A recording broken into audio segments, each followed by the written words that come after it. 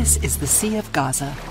The Israeli violations of reducing the fishing areas and preventing the entry of fishing equipment and gear have had negative effects on the Gaza Strip.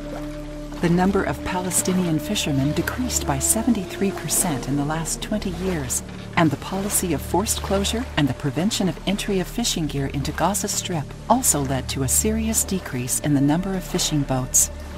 As a result of the Israeli violations, the economic return declined due to the shortage of fish caught in light of the limited fishing areas.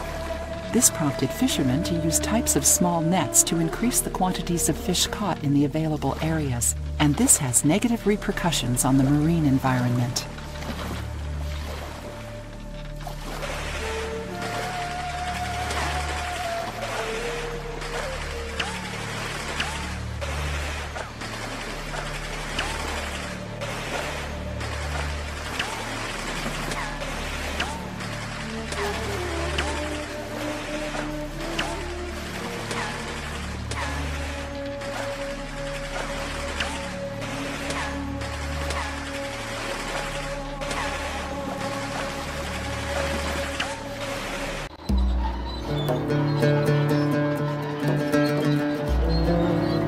You are now in the border area of the Gaza Strip.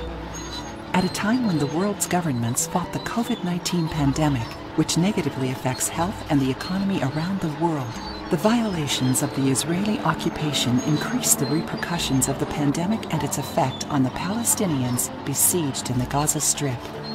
In addition to imposing a suffocating blockade on the Gaza Strip for more than 14 years, since 2014, the Israeli occupation aircrafts have been periodically spraying dangerous chemicals composed of toxic substances such as glyphosate, Oxygal, and Diurex on the agricultural lands of Palestinian citizens in the border areas of the Gaza Strip.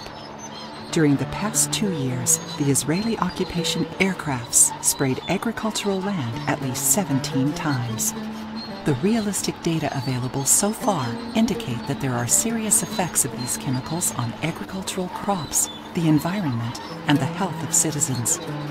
In addition to the fact that these chemicals are among the main causes of cancer diseases among farmers, dozens of Palestinian farmers in the border areas of the Gaza Strip have stated that many of their crops have died due to these chemicals.